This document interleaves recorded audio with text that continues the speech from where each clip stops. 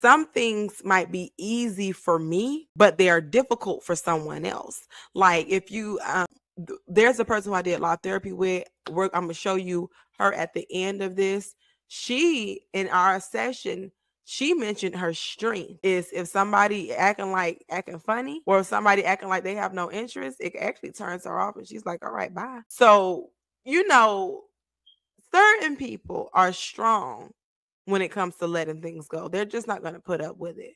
And so, what you can do is ask for somebody to hold your hand, ask for somebody to hold you accountable. But the thing is, you got to be serious about allowing somebody to hold you up where you are weak. Because I've been in this situation before with past friends, and it had become difficult for me to be in that friendship because that person had me up and down, up and down, fluctuating with their indecisiveness. So when it comes to involving somebody else in your help, with helping you get rid of toxic relationships, you've got to be willing to submit to that person's wisdom, to submit to that person's strength so you can really um, let go, let go and receive the help because we you have help, right?